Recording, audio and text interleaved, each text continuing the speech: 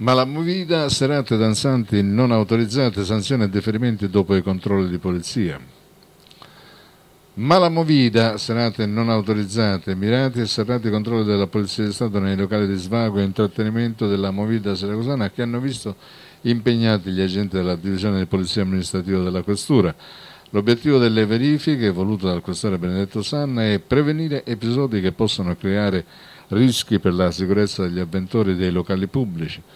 L'attività della Polizia di Stato volta alla verifica dell'agibilità dei locali controllati, delle dovute autorizzazioni dell'impiego di operatori addetti alla sicurezza, cosiddetti buttafuori, che devono necessariamente essere in possesso dei requisiti previsti dalla legge, sono condizioni che garantiscono serenità e sicurezza ai numerosi turisti italiani e stranieri presenti nel capoluogo Redoseo.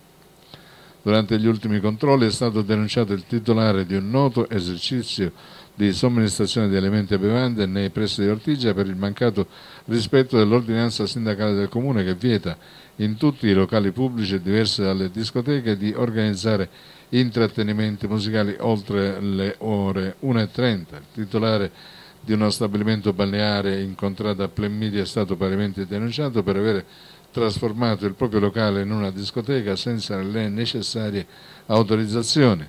Nell'occorso è stato anche riscontrato dai poliziotti l'impiego in maniera non conforme di personale addetto ai servizi di controllo nei locali di pubblico spettacolo ed è stata elevata una sanzione economica.